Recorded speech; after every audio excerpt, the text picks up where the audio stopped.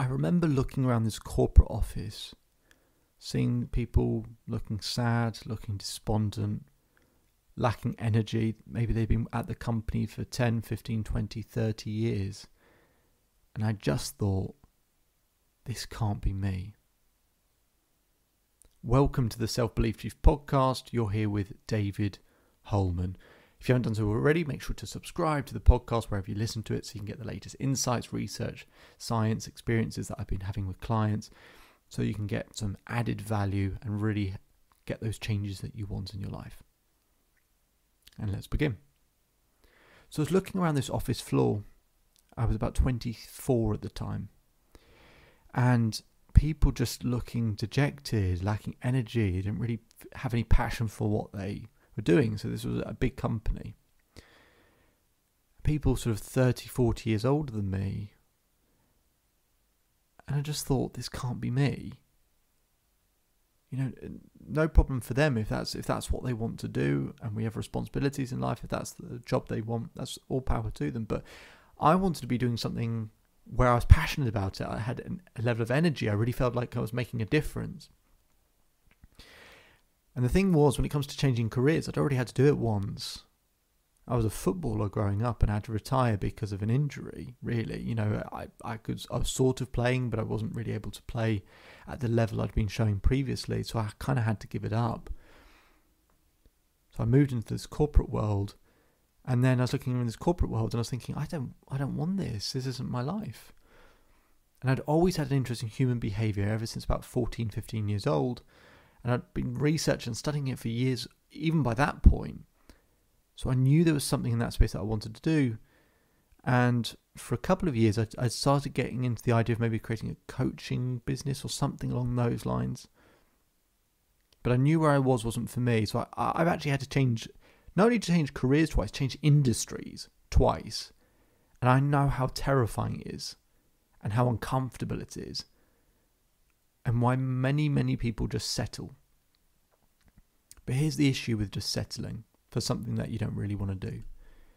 Jim Carrey told a story of his father, and his father was a very talented musician, and he could have been a musician anywhere. But he wanted to keep it safe, so he got a job. He got a job as an accountant. So rather than traveling and doing what he loved to do, and at the you know risk of it all, he decided to be an accountant because he thought it was a safe job. A year into the job, he got made redundant. And the family struggled for years after that. The meaning Jim Carrey took from that when he was older was you can fail at something you don't love. So you might as well have a go at what you do love. I've al- that's always stuck with me, and but I've always liked certainty and security as well. So it's like, how do you marry those two things up together? Well, I want to take you through the five steps I take my clients through. I sort of studied my own experiences changing careers. I studied other people. I then worked with plenty of people. I worked with people who've done it really successfully to model five steps that people who successfully change careers all do. So here we go. The first step. I call it your future found. Your future found. I take people through a series of about, I don't know, 20 something questions where it keeps narrowing down and narrowing down and narrowing down the options and the industries and the choices so they get really, really clear and specific because clarity brings things closer. We've got to know what the bullseye is, we've got to know what we're aiming at. Now, one of the things people struggle is, with is people go, oh, there's lots of different directions I could go. I actually think it really helps to eliminate things first. So you go on Google and do a simple search for industry sectors, a whole list comes up at the top. And you can just cross them off. Just cross off all the ones that you think I've got no interest in, I don't think my skill set serves that well. And you might only be left with, say, two or three industry sectors from, you know, however many there were in the first place. You know, you've cut down 95% of them. And then within those, you can start narrowing down and playing with those a little bit. But we've got to find your future, get some ideas first, get a, get a sense of what the right direction might be. The second step, I call it risk reduced. The thing that's going to stop someone from changing careers is if they associate more pain with changing than staying.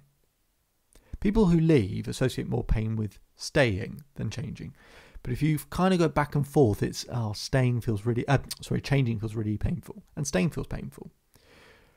So, risk reduced is about getting certainty in some key areas like your finances, your relationships, and your mental well being. So, I, I, help people shore those things up so that actually they can increase their sense of certainty. So, if their certainty is only like a three out of 10 when it comes to changing careers, I'll try and get it up to, say, an eight or a nine.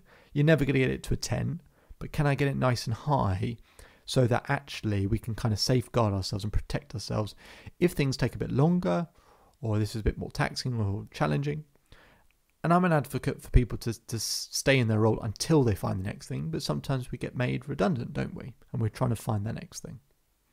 So your future found, risk reduced.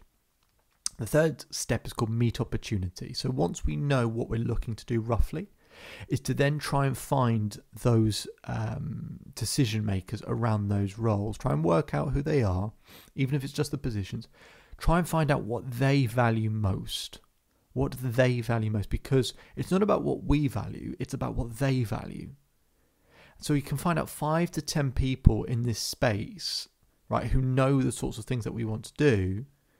Try and reach out, connect with them, and try and find the common denominator between what they all value. Because if you can find that common denominator, then we can move into the fourth step, which is called the belief breakthrough. This is where we take that common denominator of what they all value and develop it. Or if we've got to let something go, let go of something. But developing the thing that they value. Don't just do a load of random things to develop. Just be really efficient and developing the thing that most of those people value. That's how we can get that confidence because then we're developing in a way that we know is valuable in that space. So we got your future found, we got risk reduced, we got meet opportunity, we got the belief breakthrough, and then the fifth step is interview ready. So once we've developed in that value that they all appreciate, then we can, you know, design our CVs, our LinkedIn profiles, any other messaging or communication to basically present that value in a really powerful, impactful way, demonstrating we have a level of expertise in it. But also to give you that confidence in interviews as well, to know how to give the interviewer what they value. I find if you go through those five steps, it makes it a hell of a lot smoother. And they're the five steps I had to take myself through, right? I gave them names at a later point, but they were the kind of things that I did to help kind of go through it a bit, a bit smoother. And it will still be tough. It'll still be challenging.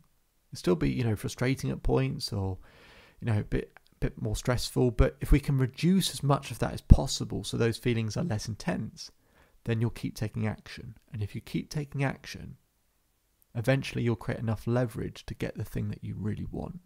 And it'll be right in front of you. You'll be able to feel it, you'll be able to step into it. And hopefully you like the sound of that. If you want to know more about that, you can visit the Self Belief Chief website. Get more uh, free content, more insights, more in depth information there. My name is David Hulman. If you change today, today will change your life. So enjoy the rest of your day, enjoy the rest of your life, and I'll speak to you again soon.